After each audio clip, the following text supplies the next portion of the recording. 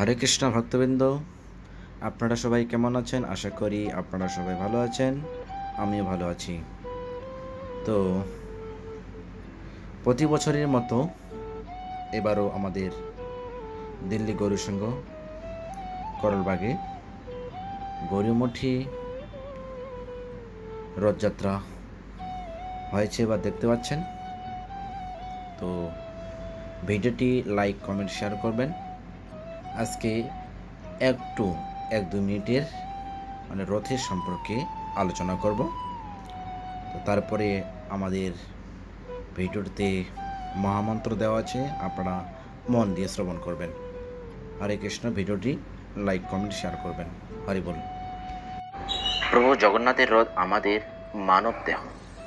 জগন্নাথের রথ দুশো ছয়টি কাঠ দিয়ে তৈরি, যা নরদেহে দুশো ছয়টি হাড়ের অনুরূপ রথের ষোলোটি চাকা, পাঁচটি জ্ঞানেন্দ্রিয় পাঁচটি কেন্দ্রীয়, ছয়টি রিপুর প্রতীক, রথের রশি হচ্ছে মন, বুদ্ধি, রথের সারথি, এই দেহ রথের সারথি স্বয়ং ঈশ্বর ঈশ্বর নিজের ইচ্ছায় এই শরীরকে চালিত করেন মানুষের ইচ্ছায় কিছু হয় না, যা কিছু হয় সব ভগবানের ইচ্ছায় হয়। উল্টো রথের পর জগন্নাথ রথ থেকে একবার নেমে গেলে ওই রথ আর ওঠে না। তখন ওই রথ ভেঙে কাঠ দিয়ে হোক রান্নার কাজে লাগানো হয়। তেমনি আমাদের শরীর থেকে ঈশ্বর একবার বেরিয়ে গেলে ওই শরীর আর কোনো গুরুত্ব থাকে না, মৃত বলে গণ্য করা হয় পুড়িয়ে দেওয়া হয়। হরে কৃষ্ণ।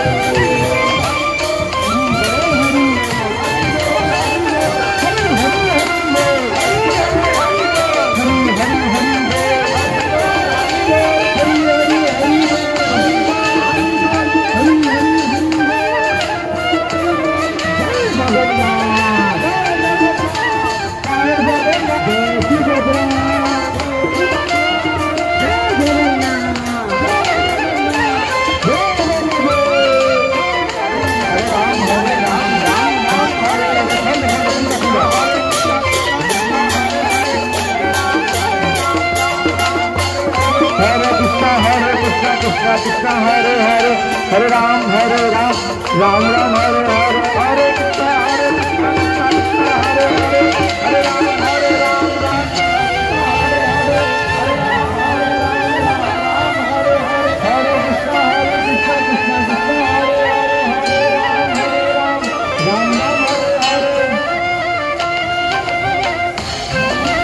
कृष्ण हरे कृष्ण